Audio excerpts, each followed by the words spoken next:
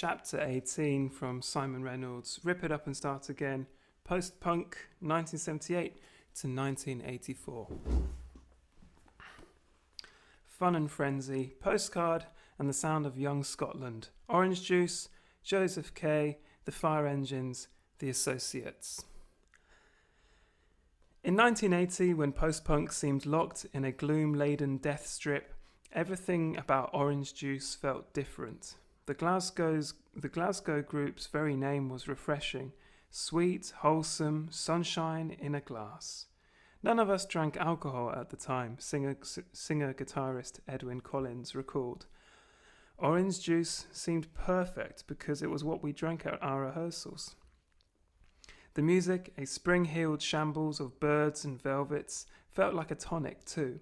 Above all, their debut single, Falling and Laughing, released in the spring of 1980, signalled the return of unabashed romance. Renouncing post punk's demystification, Collins proclaimed the sacred singularity of his sweet sweetheart.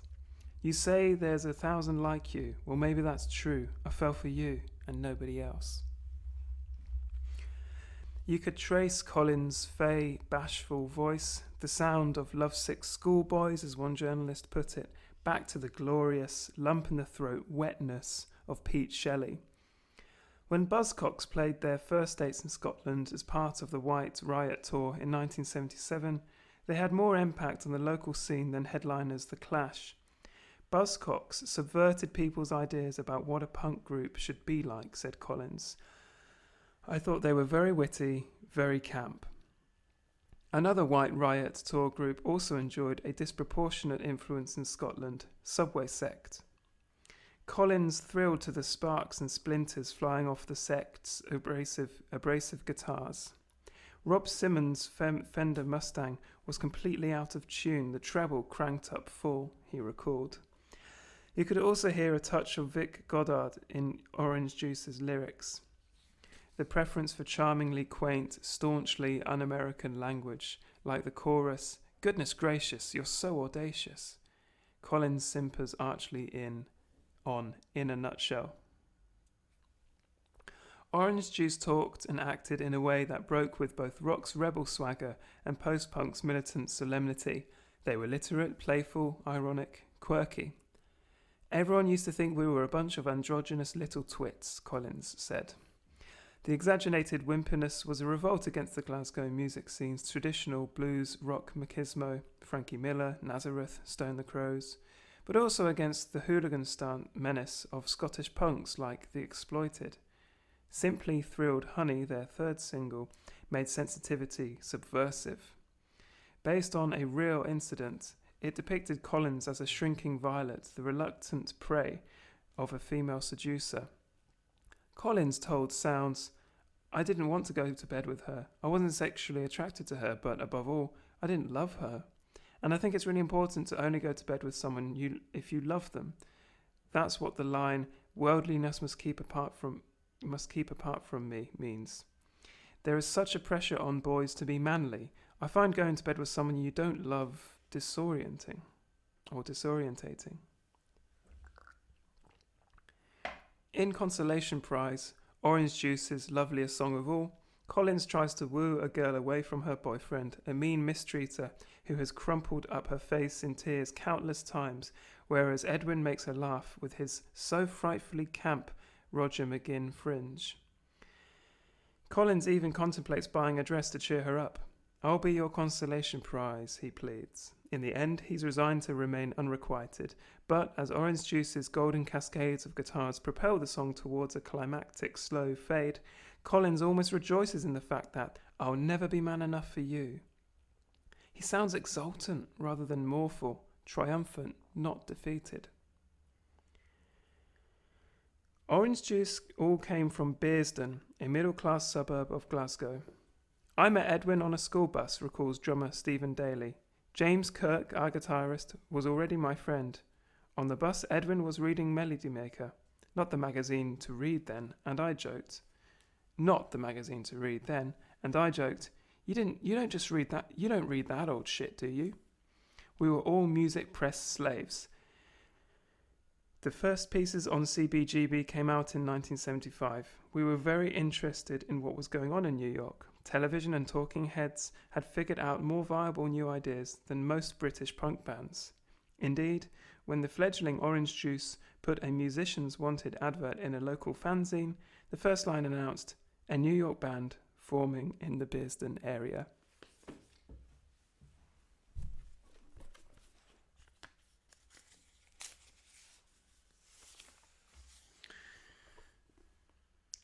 As much as the current CBGB bands, Orange Juice were united in a love of an earlier New York supergroup, the Velvet Underground. Collins would place Live 1969 on his Dansette and leave it playing on repeat for hours while he potted around his flat. Live 1969's gatefold sleeve showed a Lou Reed holding a country gentleman guitar manufactured by Gretsch, a make that would that look on a, tali- a make that took on a talismanic talismanic significance for Orange Juice. We avoided the two major rock guitars, the Fender and the Gibson. Playing Gretsch's was about bringing back a 60s sensibility, but still having the freneticism of punk. Nobody else used them at the time. The core of Orange Juice's sound was the sparkling drive of rhythm guitar played at double time to the drum beat. The idea came half from the late era Vel- Velvets and half from Chic. Disco was the wild card in Orange Juice's musical mix. Before punk, Collins had been a regular at church hall youth dances and the Glasgow discotheque shuffles. The thing about us blending chic and the Velvets, it really sound it sounds really audacious on paper, but if you listen to Live nine, Live 69, the double time rhythm guitar on rock and roll is not a million miles apart from Nile Rodgers' guitar playing in chic, says Daly. Very clipped, not jangly, which which is the cliche journalists always applied to orange juice. The strings are actually being dampened, so it's more choppy than jangly. In 1978, a 19 year old Uber hipster and botany student called Alan Horne witnessed a gig by Orange Juice, then trading as the Nu-Sonics, and was struck by two things their cover of We're Gonna Have a Real Good Time Together, an obscure Velvet song only ever captured on Live 1969 Cooler still, an associate of the band came on stage to chant the refrain from Chic's recent UK hit Dance Dance Dance, Yowza Yowza Yowza. Daly had already met Horne through his job at a record shop called Listen. We got talking. Alan was an interesting, overamped character, recalls Daly. After checking out the band, the abrasively opinionated Horne offered them some unsolicited advice. He probably told us we were shit, said, says Daly, but he could see the potential.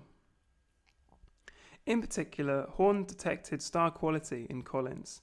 In typically prickly fashion, though, he greeted the singer, who was dressed in Levi's motorbike boots and a plaid shirt, with, Look at the fucking wimp. You're like John Boy Walton.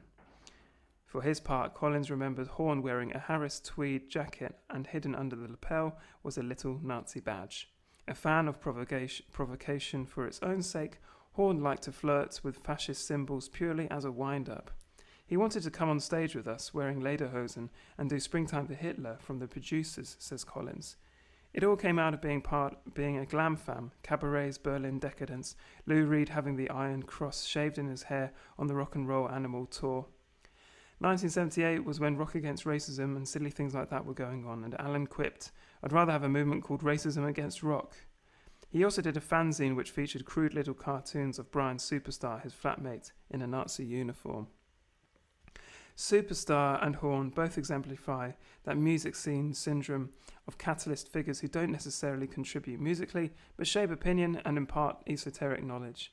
Horne was a connoisseur of pre punk music and owned boxes of classic 45s, ranging from Elektra's psychedelic rock to Northern Soul.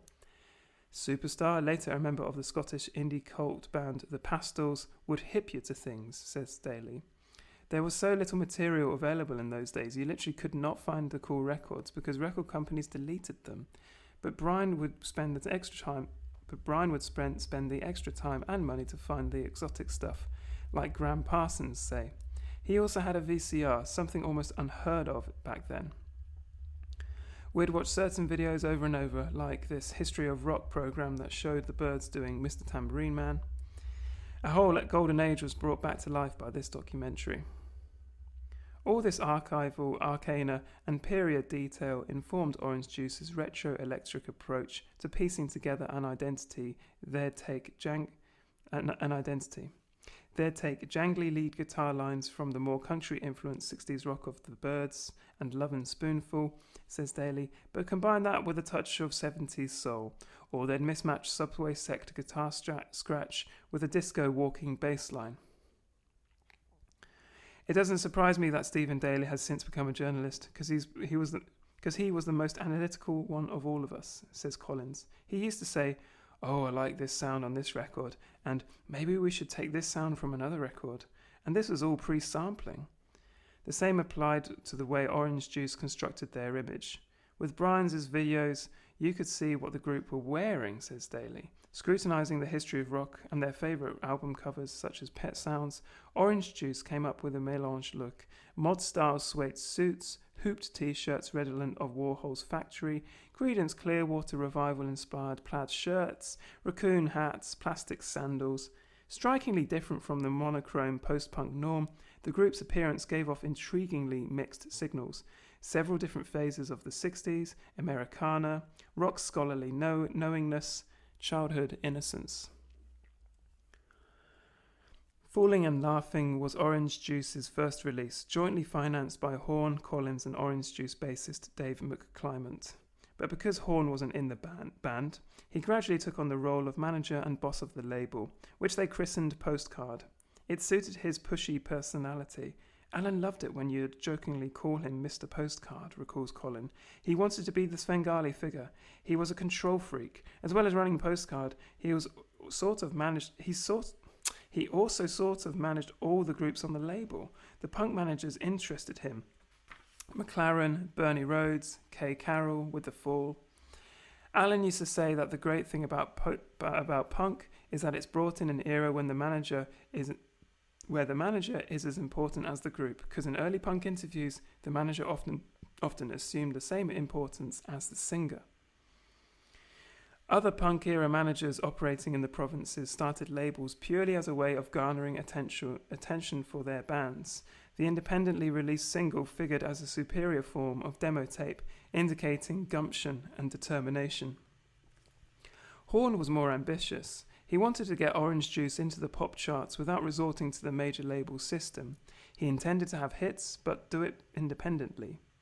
Horne was one of the very first people to sense that the independent charts charts had become a low horizon for bands. Music should always aim for the widest possible market, he proclaimed in one of the first music paper features on Postcard. The charts are there. That's where you need to be.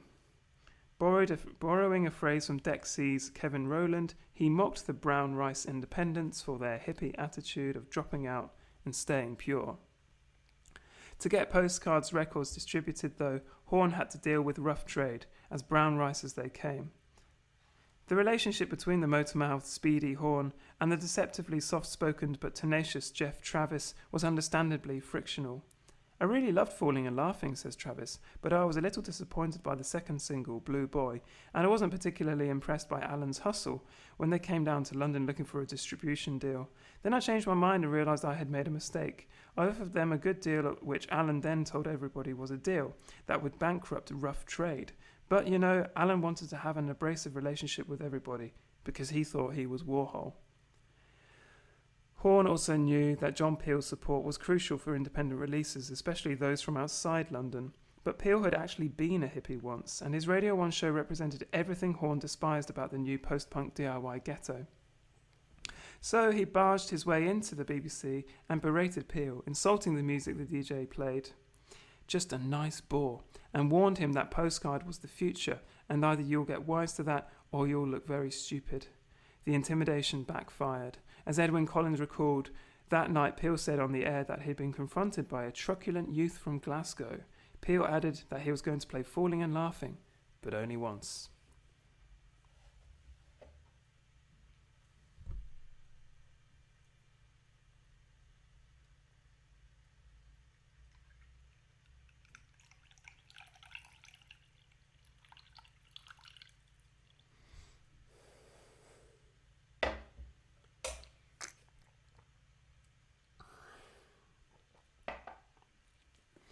Given how peripheral Glasgow was back then in relation to the rest of the UK music scene, Postcard depended on the weekly music press. The papers were our only hope, really, says Daly.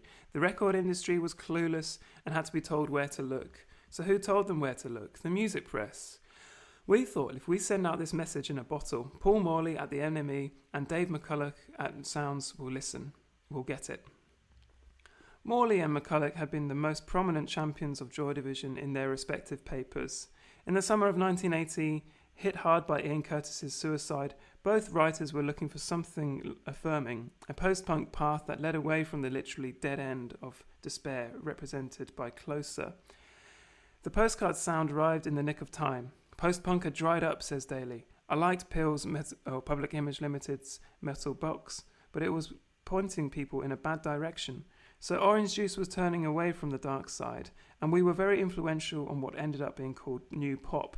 We struck a nerve with the media conscious people, the future tastemakers. We were very clever, meta aware, and having fun with it. Orange Juice's sense of humour was crucial.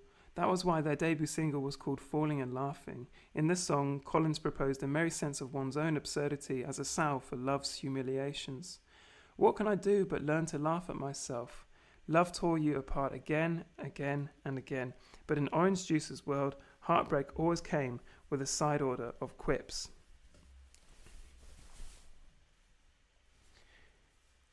Orange Juice remained Postcard's priority, but Horne began filling out the label's roster with other Scottish talents, such as Glasgow's Aztec Camera and Edinburgh's Joseph K, plus honorary Caledonians, the Go Between, who hailed from Australia but had a spare, plangent sound similarly rooted in television and early talking heads. The sound of young Scotland, Horne called it, in a nod to Motown, whose hit factory approach he admired. Postcards, sleeves played on tartan patterns and other cliched Scottish imagery as if they were a branch of the Scottish Tourist Board. Joseph K came through Daly, who'd quit Orange Juice for a, for a while and started his own label, Absolute. In Edinburgh, he had met Malcolm Ross, guitarist in a band called TV Art. Daly convinced them the original name was terrible, and they came and they became Joseph, oh, Joseph K after the protagonist of Kafka's The Trial. Horne wooed Daly back into the Orange Juice fold by, by accompanying him on a trip to London to pick up Joseph K's debut single from the pressing plant, and help Daly take them to distributors like um, like Small Wonder. Orange Juice and Joseph K formed a sort of alliance, said Ross. They'd support us in Edinburgh, we'd support them in Glasgow. Like Orange Juice, they had a clean image, strap monochrome suits from Oxfam, and a clean sound. They also liked a lot of the same music, the cerebral side of American punk, groups like Television, Pere Ubu, Talking Heads, the Voidoids. I never saw any of the New York groups as part of rock and roll, all those mouldy old bands with long hair, says frontman Paul Haig, who had been playing guitar for a while when he heard Marquee Moon in the record shop where he worked. I just thought, that's how you should play guitar. I much preferred television's crisp, clear sound to the blasting of the Clash and the Pistols.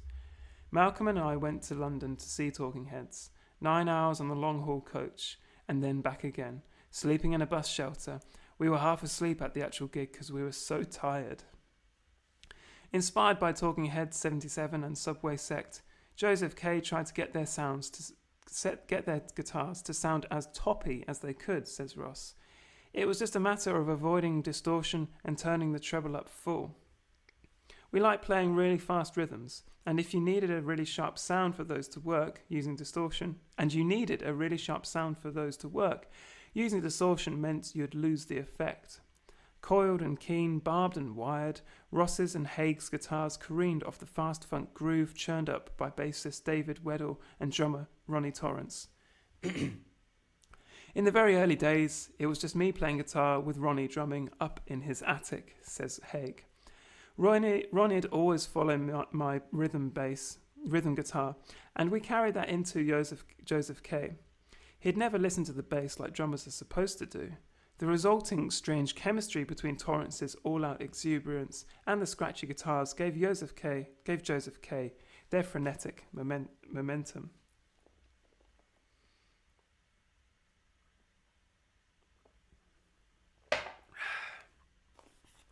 Joseph K's disco punk had a similar flustered quality to Orange Juice's chic Velvet's rhythm guitar.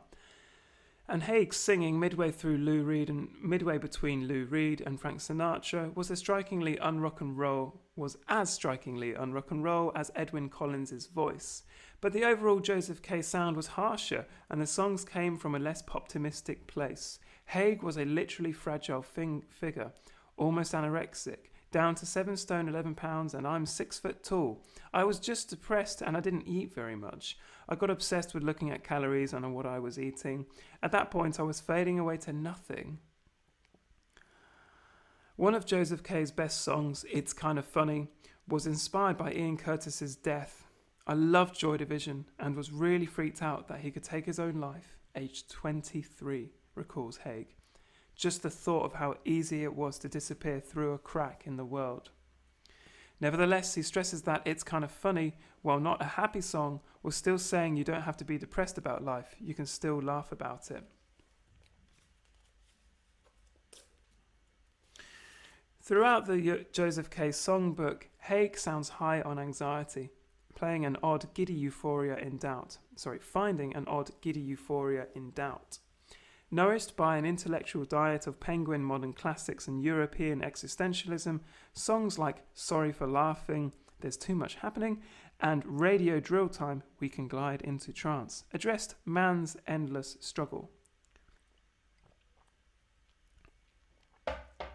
On their masterpiece, Endless Soul, the singer's suave croon surfs the fraught glory of Joseph, of Joseph K's guitars, as if trying to strike the correct, flattering posture in the face of the absurdity of being alive in a godless, vacuous universe, as Haig puts it.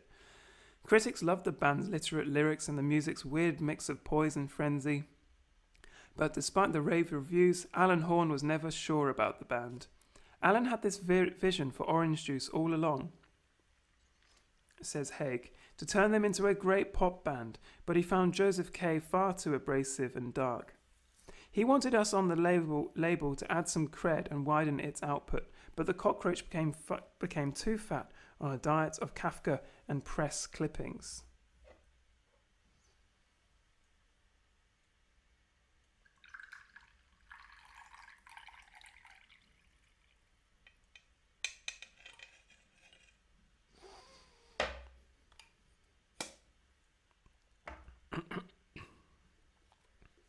Books shaped Joseph K. as much as music. Kafka, obviously, but Camus, Hesse, Dostoevsky, and Knut Hamsun. Knut Hamsun. Reading gave me so many ideas for lyrics, said Haig. In those days, I never thought about politics for one second.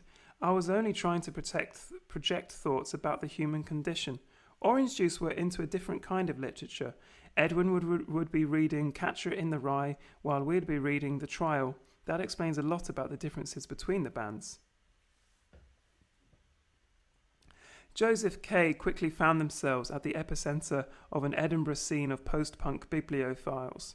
There was a certain period in Edinburgh when all the new wave bands were into reading, remembers Haig, laughing. Davy Henderson from the Fire Engines, Ross Middleton from Positive Noise, Richard Jobson from the Skids. You'd always see them with a book in their pockets. The city's post-punk literati always literati haunted a pub called the Tap of Lauriston, directly opposite Ed- Edinburgh's Art College. Like the members of Orange Juice, though, Joseph K weren't much for drinking. Ross, Haig, and Weddell struck, stuck mostly to soft drinks. Only Torrance would have a pint, or several. It was as if all the band's rock and roll rock and rollness was concentrated in the body of their drummer. At gigs, we'd leave the rider untouched, but Ronnie would stuff all the beer in his drum bags, recalls Haig. Torrance's appearance also stuck out like a sore thumb. Joseph K had this band camaraderie thing, and would all wear long grey raincoats, except for Ronnie, who'd sometimes upset us greatly by wearing yellow trousers and pointed blue suede shoes. Ron was into the whole rock and roll trip. He'd even get groupies. We'd never got groupies.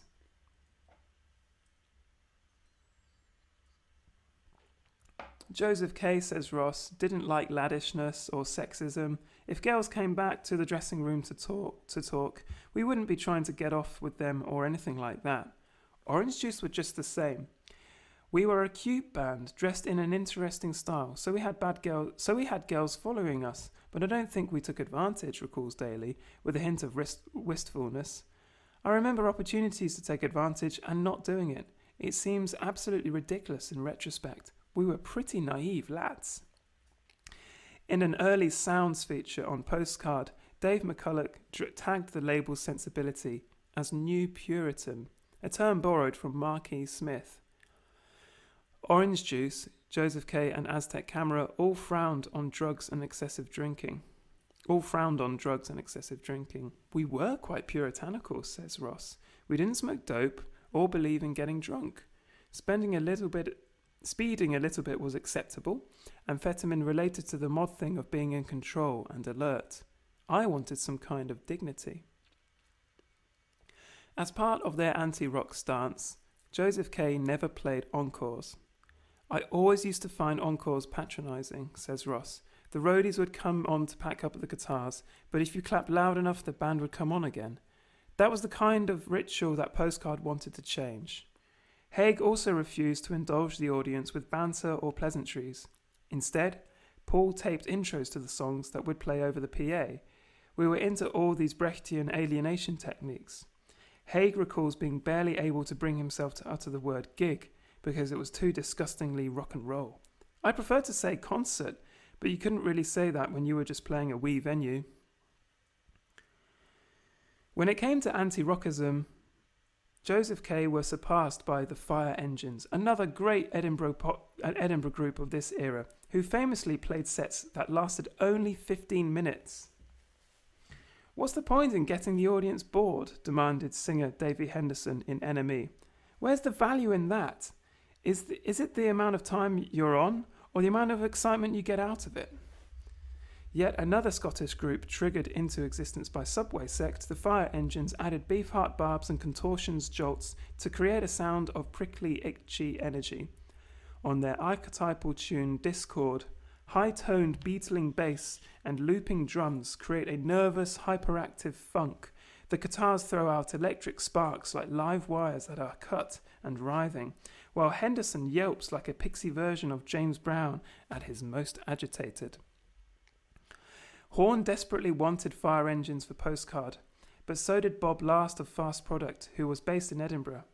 Like Horne, Last believed that independent culture was in danger of becoming a ghetto, but up to this point, they'd had, a very they'd had very different ideas of how to escape from it.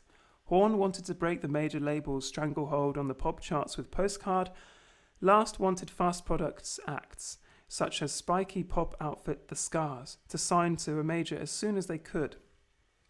Unsurprisingly, a bristling rivalry developed between the two men and their labels. It intensified when Horne, all set to release a Fire Engines live tape on his projected sub label I Wish I Was a Postcard, was outflanked by Last, who whisked the band into the studio to record the, the release to, to record the first release for his new label, Pop Aural. Ironically, the Pop Aural concept was very similar to Postcard. I dissolved fast and started Pop Aural because I wanted to experiment with becoming more commercial, he says. Just like Horne, he wanted to see if it was possible to break into the top 40 while remaining independent. The Fire Engines Lubricate Your Living Room, the record that launched Pop Aural, wasn't exactly pop music though. For a start, it was mostly instrumental, give or take the odd stray chant or shriek of excitement from Henderson. It wasn't it certainly wasn't a single, but a deliberately unclassifiable release. Nine tracks stretched across a 33 RPM 12 33 RPM 12 inch, selling at the budget price for an album of £2.49. Yet Henderson stressed that Lubricate shouldn't be taken as the Fire Engine's debut album either. Instead, it was a sort of dub remix of debut of the debut LP before it existed. It's like our songs with the words taken away and the lengths extended. It was Bob Last's idea, and he wanted to use us, and we were quite into getting used in this type of way. Echoed in the title of the track Get Up and Use Me, Last's governing concept was useful music as opposed to art for passive consumption, background beat for active people. Lubricate was the hyperkinetic opposite to chill out music, or opposite of chill out music or Eno's ambient soundscapes, something to vibe yourself up before you went out for the evening. On its release in January 1981, Lubricate was a, was a critical smash and a big independent hit. But the Fire Engine's wonderfully frangible music fell a long way short of the chart infiltrating pop last envisioned for Pop Aural. The Fire Engines were a transitional thing because they weren't glossy, he says. For the next single, Candy Skin, last hard half a dozen string players, not as expensive as you might imagine, to add a hilariously incongruous symphon- symphonic patina to the group's jagged sound. The fire engines were so abrasive you could get away with it using a string section without it being kitsch. But after a while, I told them they couldn't on doing what they were doing because it'd just be less of the same. So they reinvented themselves as Win, a proper pop group.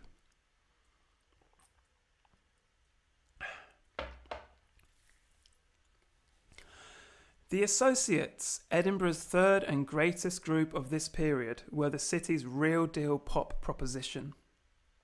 Unlike Joseph K or Davy Henderson's mob, they would eventually go all the way. Singer Billy Mackenzie had a multi octave voice and the supernatural glow of a born star.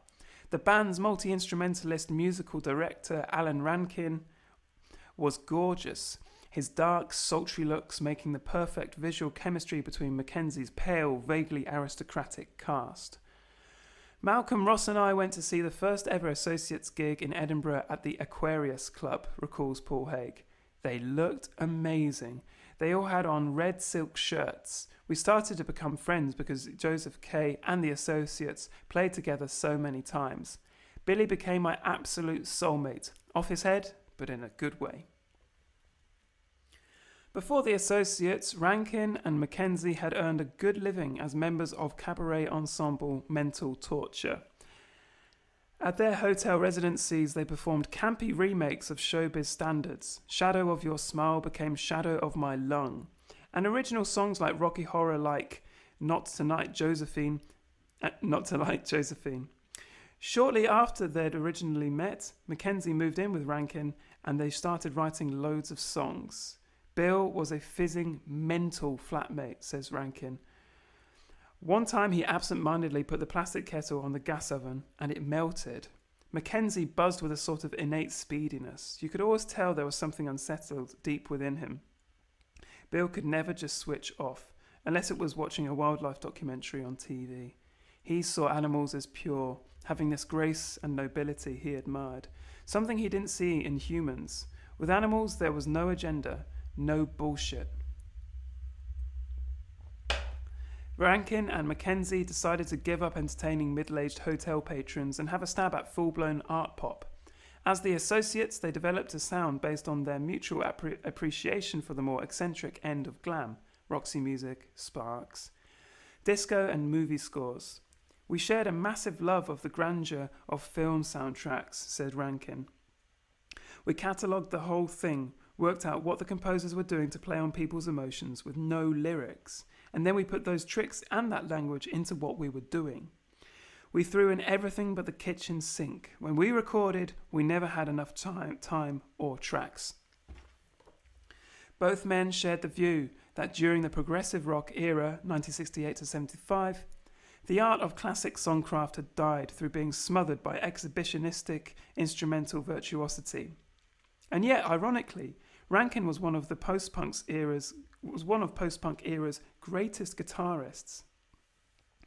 There was a def- definite period of around 1979 to 81 where, because of the setup in bands, just guitar, bass, drums, vocal, it was the guitarist who virtually carried the can for all the sound textures in the group, he says. I was just trying to use the most basic effects, like the Roland Space Echo turned up to full, to make the biggest sounds I possibly could just to back up the grandeur of what Bill was trying to do vocally. You've got to remember he had no backing vocals harmonizing with him. I tried to make a wall of sound without sounding like punk thrash. Post punk was all about the creeping back in, in the creepy. Post punk was all about the creeping back in of degrees of subtlety, giving the song a chance to breathe. The Associates sound mixed post punk modernism, the ice-burn spires of Rankine's guitar, and the most postmodern and the more postmodern traits of the new pop. In the Associates' case, that meant flashbacks to the stylized romance of bygone forms, interwar torch songs, post war musicals, Sinatra style crooners, Scott Walker's orchestrated solo albums.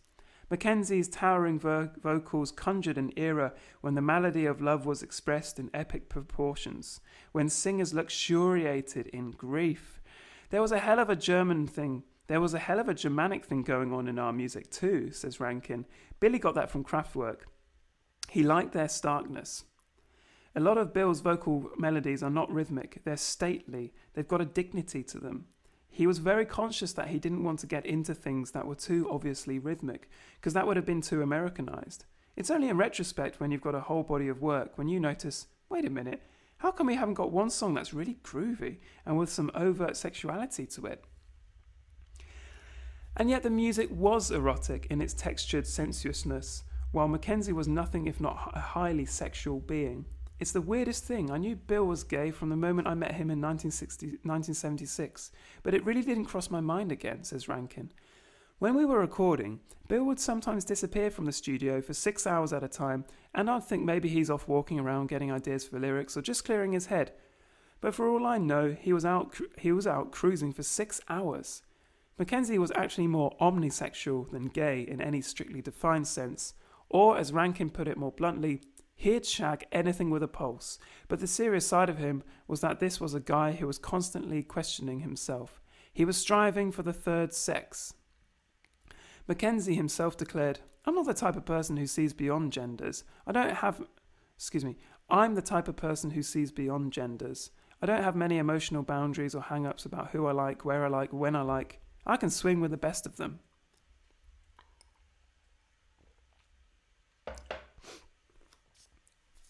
For their self release debut single, the Associates covered Bowie's Boys Keep Swinging. As a way of announcing themselves to the world, it neatly combined homage to one of the biggest influences on Mackenzie's vocal style and sheer hubris.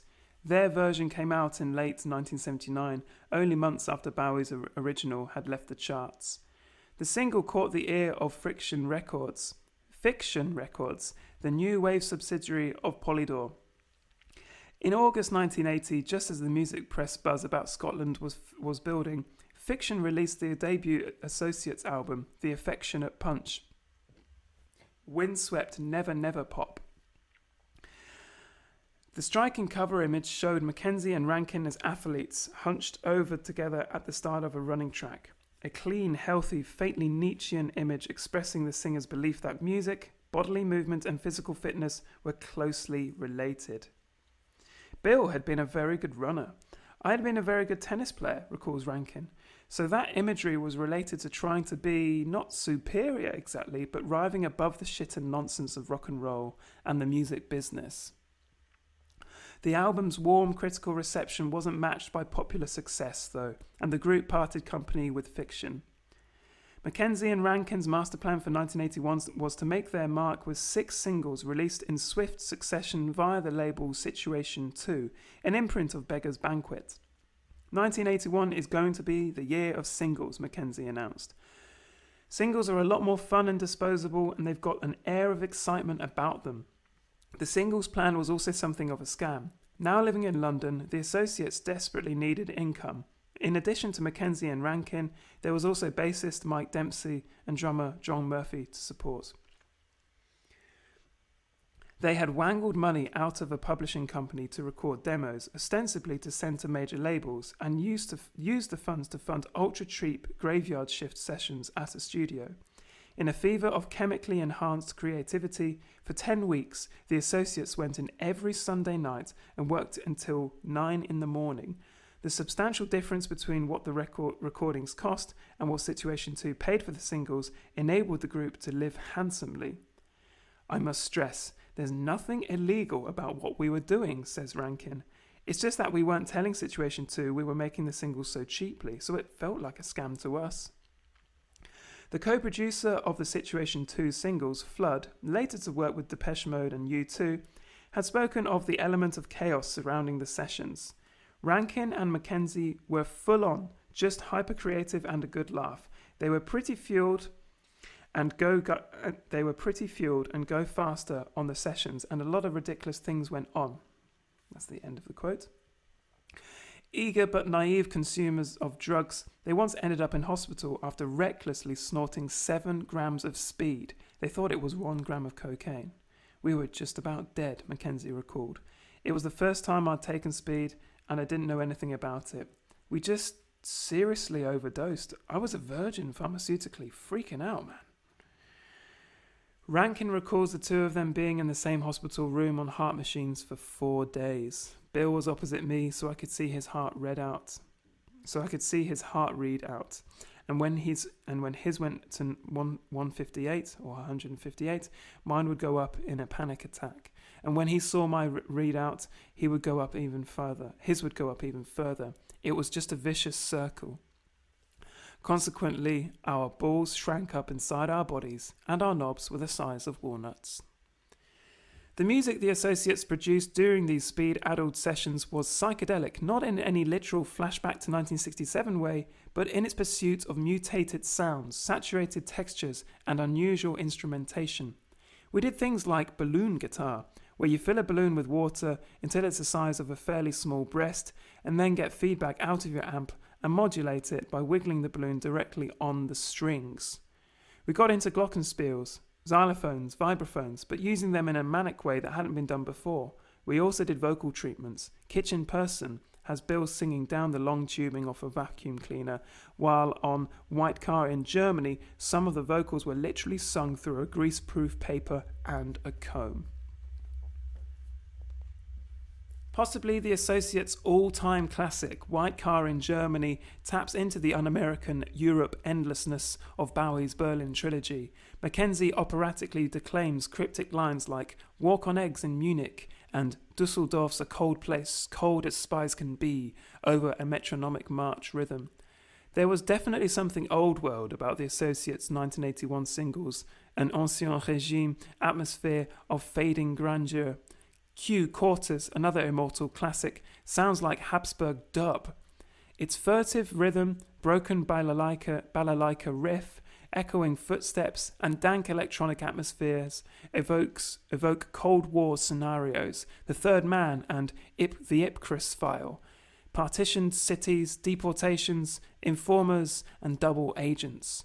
Ooh, that's a dark song, says Rankine. I've heard dogs howl to Q Quarters, run up out of the room and cover their heads with their paws. Bill just let rip with the imagery. The line, washing down bodies seemed to me a dead end chore, comes from his grandma, who had, who had worked in the morgue during the Second World War.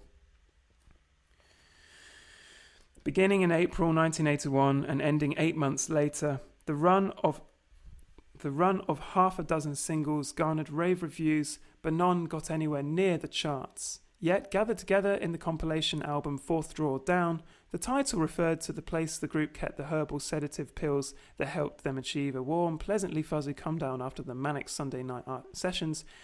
The Associates' 1981 output added up to an astonishing body of work. Mackenzie and Rankine were dissatisfied, though. At the beginning of last year, I thought it was going to be the year of singles, Mackenzie re- recollected in an early 1982 interview. And it was. The thing with our singles was that they got peeled off the turntable halfway through. We want to keep our singles on the turntable this year. Their ambition wasn't going to be sated by being critical darlings uh, and cult favourites. They wanted to be the Bowie or Roxy of the 80s. How they managed to pull this off, albeit for just a tantalisingly brief moment of pop time, is a story we'll return to later. By mid 1981, Postcard had also reached an impasse. In many ways, the label had made astonishing strides in an incredibly short period. Orange Juice's second single, Blue Boy, sold nearly 20,000 copies and has been described as a Scottish, Scottish anarchy in the UK for its galvanizing effect on new bands north of Hadrian's Wall.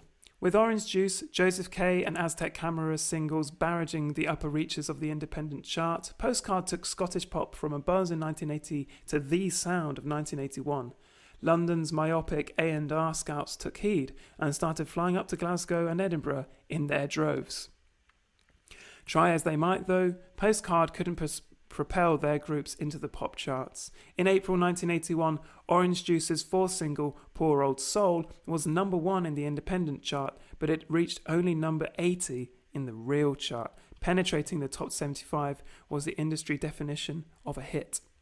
Frustrated, Alan Horne began to contemplate the unthinkable, hooking up Orange Juice with a London major label before the momentum they'd gathered dissipated. It might even be necessary to slap on a coat of gloss over the group's music. Shiny and melodic compared to post punk, Orange Juice still sounded too scruffy and scratchy in the chart pop context. Meanwhile, Joseph K took the next logical step and recorded their debut album. What should have been a triumph turned into a debacle. Sorry for Laughing, as the LP was originally called, sounded too slick for the band's liking. The manic and abrasive edge apparent the manic and abrasive edge apparent when we played live was missing, says Haig. Joseph K proceeded to re-record the entire album, in the process jettisoning some of their best songs. Retitled The Only Fun in Town, it was finally released in June 1981. Reti- excuse me. Only Fun was all recorded in a couple of days, like a Velvet Underground record, says recalls Haig. We purposely drowned out the vocals with guitars in order to get a more live sound. It was an unconscious act of commercial suicide, definitely. With the benefit of hindsight, Malcolm Ross regrets the decision. We should have just released the first version, sorry for laughing. It would have come out six months earlier, so we wouldn't have lost all, the, all that momentum we had. Joseph K's critical champions Morley at the NME and McCullough at, the, at Sounds were horrified by the Only Fun, feeling the group had betrayed its pop promise and their expectations. Despite the poor reviews, the album figured high in the independent chart and even enjoyed something of a legacy through its influence on a mid 80s and beyond breed of abrasive indie guitar pop, groups like the June Brides and the Wedding Present. But in 1981, the perception was that Joseph K had missed their moment, by the autumn, the group had split, with Haig going on to pursue an electronic dance direction as Rhythm of Life. In the last months of 1981, Postcard looked out of its look, looked out of step. Synths, string sections, and a slickness beyond Horne's and his group's reach were the new state of the art. Fatally, the postcard sound was a rock scholar's idea of pure pop. It played fantastically well with the circuit of the music press, John Peel, and the indie charts, but compared to the music of the daytime of daytime Radio 1 and Top of the Pops, it looked spindly and amateurish. Postcard had played a huge role in turning hipster opinion against the dowdy seriousness of post punk. Almost single handedly, they had made melody, fun, and love songs cool again. But it was Love Action, the Human League's romance manifesto, that got into the top five, not Orange Juice's Simply Thrilled Honey. Funk was the big buzzword of 1981, but few remembered that Orange Juice's Falling and Laughing featured a disco bass line, or that the group had precociously celebrated chic. Postcard and Orange Juice had put the concept of pop back on the table, but pop, that cruel mistress, had moved too fast for them to keep up. Or had it?